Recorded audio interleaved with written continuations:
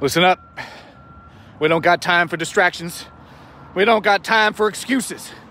The only time we have is for solutions. Do you hear me? Now let's go out there and give it our best. Give it beyond our best. Give it your all!